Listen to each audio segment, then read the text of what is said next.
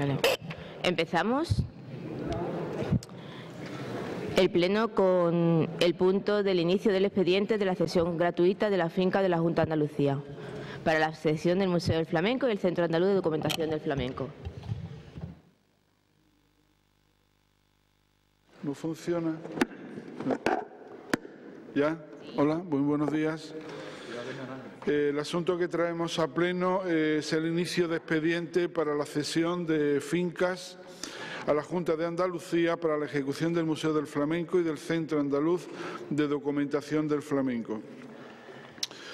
Eh, en primer lugar, en el primer punto eh, proponemos, se propone al Pleno iniciar el expediente para la cesión de la titularidad de las fincas municipales registrales 29650 de calle Doctor Nillo número 8 duplicado la 29652 en calle Doctor Lillo número 8 31725 en calle Rompechapines número 1 31727 igualmente en Rompechapines el número 3 31729 en la misma calle el número 5 34333 en la calle Doctor Lillo el número 8 triplicado con el número 38003, en esta misma calle Doctor Lillo, la finca número 10 con el código 48308, en calle Barrancos los números 6 y 8,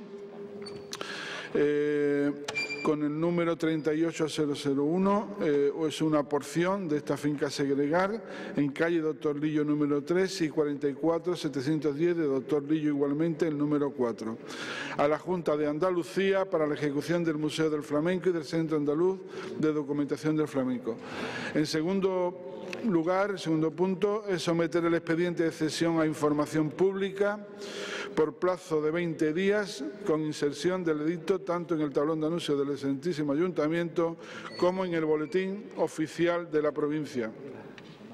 En tercer lugar, notificar el acuerdo de inicio del expediente de cesión a la Junta de Andalucía al objeto de que en el plazo de 15 días pueda formular cuantas alegaciones o consideraciones estime pertinentes sobre el término de la cesión.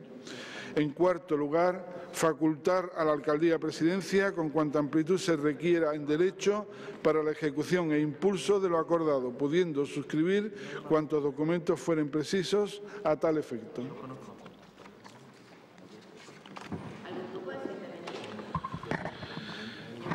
Muchas gracias, señora presidenta. Mm, vamos a votar a favor de, de la propuesta. Tenemos nuestras reservas, tenemos nuestras dudas y y nos gustaría confiar en que este proyecto no termina siendo un nuevo bluff por parte de la Junta de Andalucía, porque en EDE ya estamos particularmente escarmentados. Eh, y con las reservas que saben que mantenemos respecto del traslado del centro de documentación del, flamenco a esas instalaciones. Mantenemos muchas dudas, seguimos pensando que no es lo correcto, que debíamos conservar eh, el CAF en, el actual palacio en el que se encuentra y que es un error poner en juego eh, bueno, pues todos los fondos que, allí tenemos y que están al servicio eh, de todos los ciudadanos y los amantes del flamenco en un lugar eh, noble como el flamenco merece en esta ciudad. Aún así, con nuestra reserva, vamos a votar a favor de la propuesta, insisto, confiando en que no termine siendo un bluff a los que tristemente estamos tan acostumbrados. Gracias. Sí, nosotros igualmente vamos a votar favorablemente, también tenemos nuestras reservas, nuestras dudas, porque los antecedentes no son muy halagüeños. Esta cesión de gratuita de estas 10 fincas registrales eh, son necesarias para el proyecto del Museo Flamenco Andalucía. Es un trámite de obligado cumplimiento según la Ley eh, Autonómica 4-86 de Patrimonio de Andalucía. Cuenta además con el visto bueno tanto de intervención como de patrimonio y no hay que olvidar que es un proyecto enmarcado dentro de la ITI 2014-2020.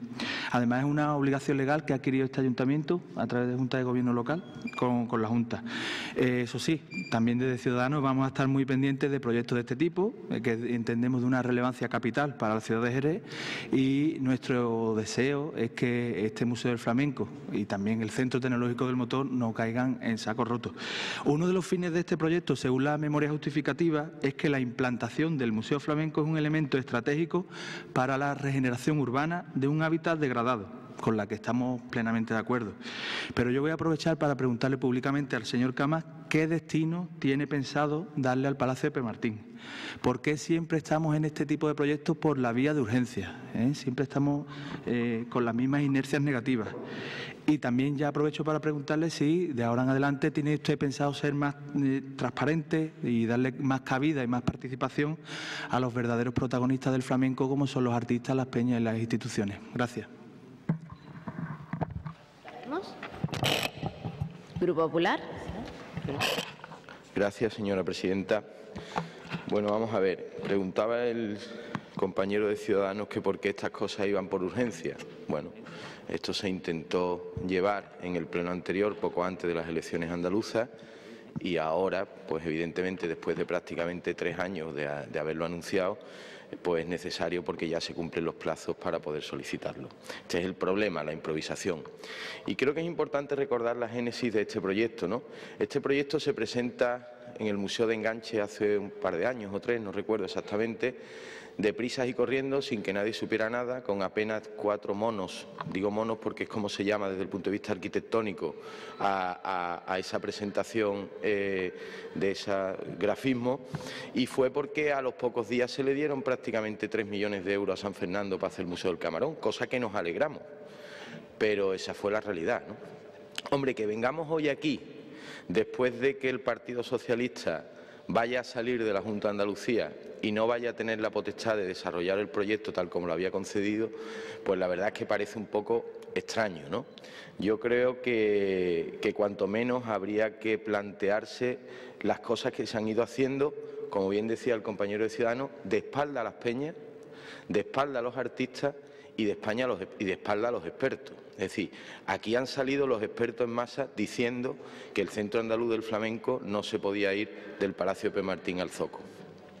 Y por lo tanto, aun entendiendo y estando de acuerdo en que se le cedan estas instalaciones a la Junta de Andalucía, porque si no es para una cosa, será para otra, y es verdad que allí en aquella zona hace falta impulsarlo, sí me gustaría decir que nuestro grupo va a votar abstención como un hecho de protesta ¿no? ante la falta de comunicación y la falta de atención que han tenido con las personas que saben de esto. Y también vamos a decir otra cosa para que la gente se quede tranquila. El Museo de Lola Flores no va a estar en el barrio de San Mateo, va a estar en el barrio de San Miguel. El Centro Andaluz de Flamenco no se va a ir al Zoco de Artesanía, entre otras cosas porque no cabe, entre otras cosas porque no cabe, porque no lo quiere nadie y porque no cabe. Y sí me parece bien que se ceda el Zoco, el edificio, antiguo edificio del Zoco a la Junta de Andalucía, porque ahí lo lógico y lo razonable es que vaya un centro de artes del flamenco, es decir, de artesanos del flamenco.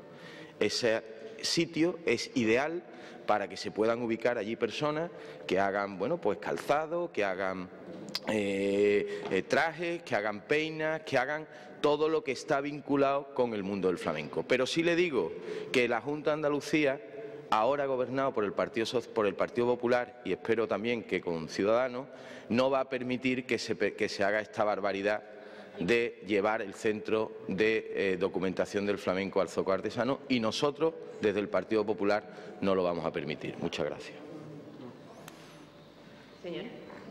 Señor Cama, tiene la palabra. Sí, muchas gracias. No, me da la oportunidad de decir que por primera vez un gobierno de la ciudad, y no es el del Partido Popular, pues consideró objetivo prioritario rehabilitar el centro histórico.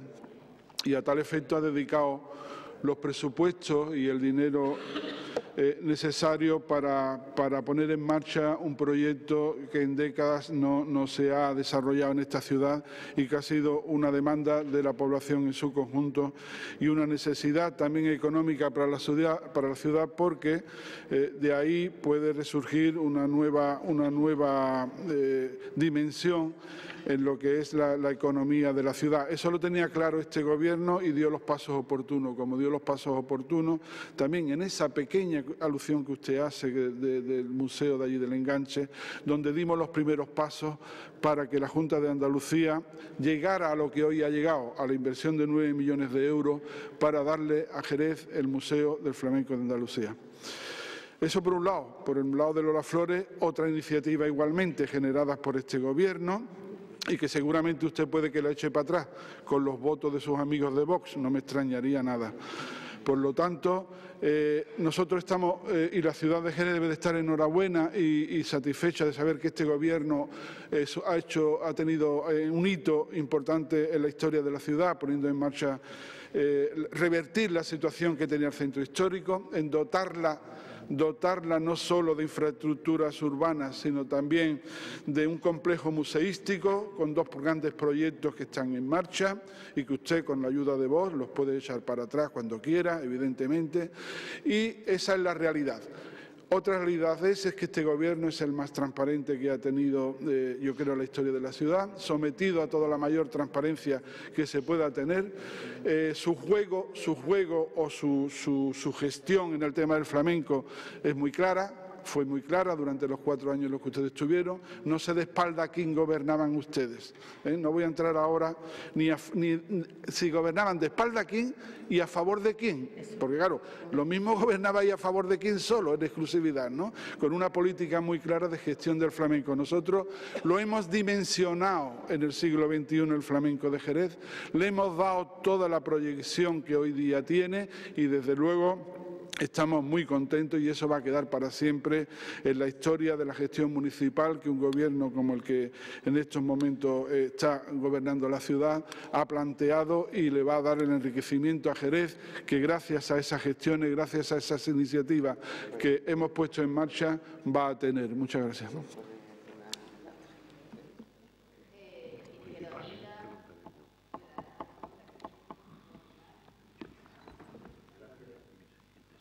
Gracias, señora presidenta.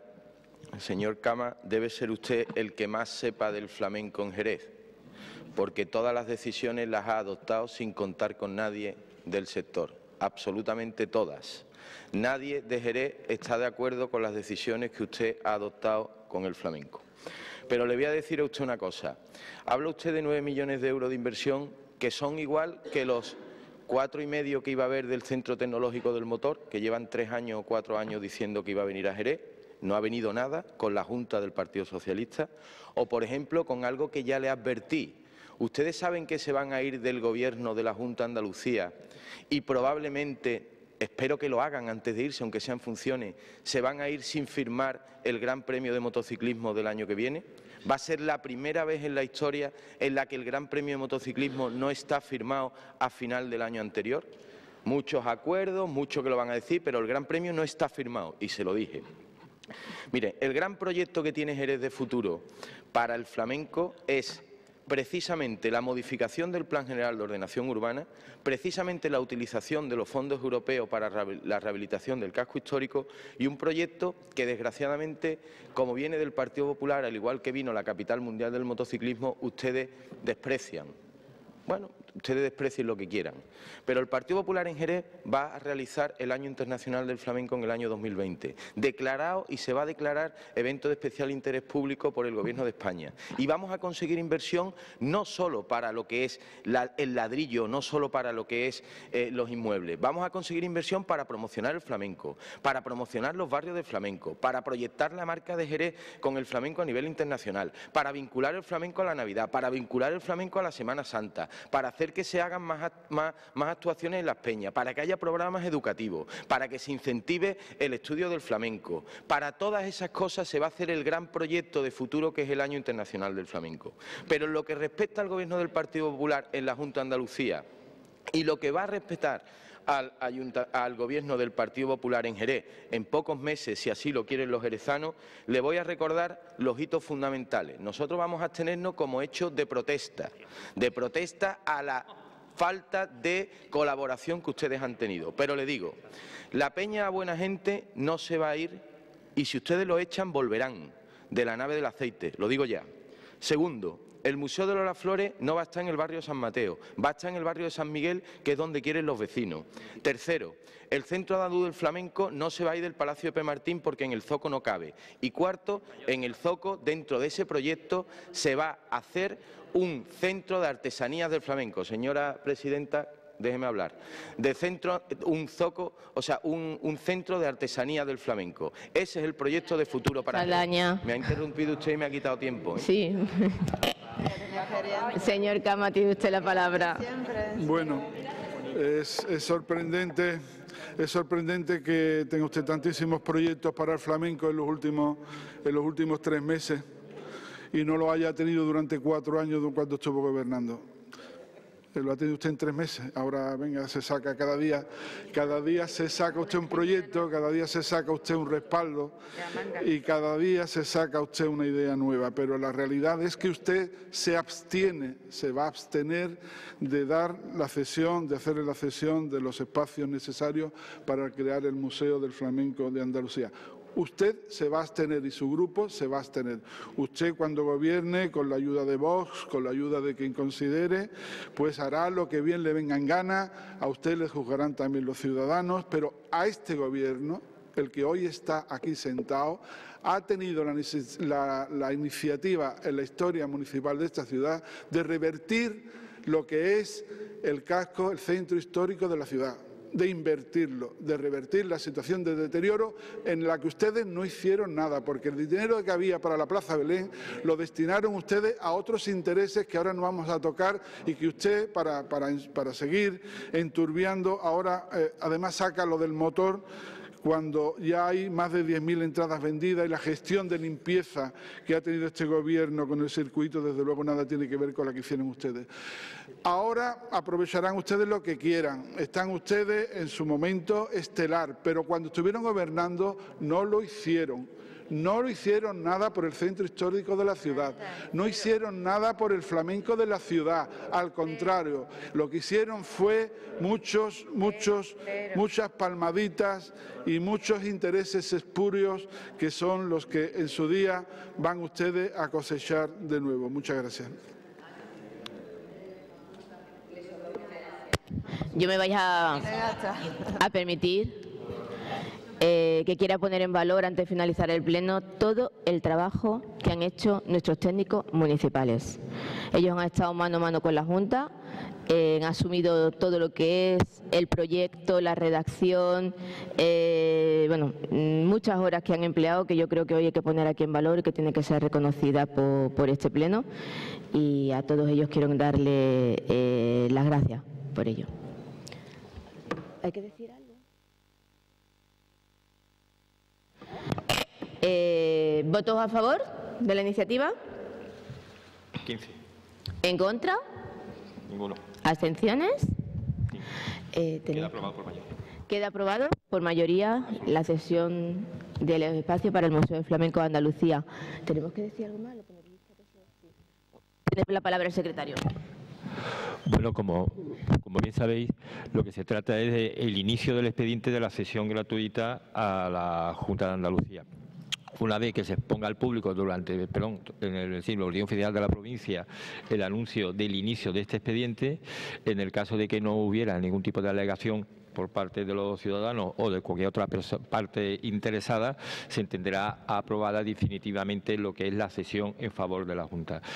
Terminado este expediente, eh, por parte del Ayuntamiento se inicia otro expediente por la Junta, que es el propio, es el propio expediente, el propio procedimiento que tiene la Junta para aceptar la cesión que le ofrece el Ayuntamiento de Jerez y luego culminará con un acuerdo del Consejo de Gobierno, esperemos que aceptando lo que es, evidentemente, las sesiones de los bienes inmuebles que le hacemos referencia, será el acta de entrega y se firmará lo que es la recesión por parte de la Junta de Andalucía en su inventario y en el registro de la propiedad de los bienes que son cedidos y lo que se cede es la propiedad. ¿eh?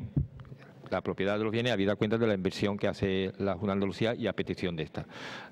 Y, por supuesto, facultad a la señora alcaldesa presidenta para realizar, que ya lo ha dicho don Francisco Cama, pero para redundar, para realizar todo tipo de gestión y firma de cuantos documentos y de interpretar incluso lo que es todo el expediente para que se lleve a buen fin. muchas gracias. Muchas gracias.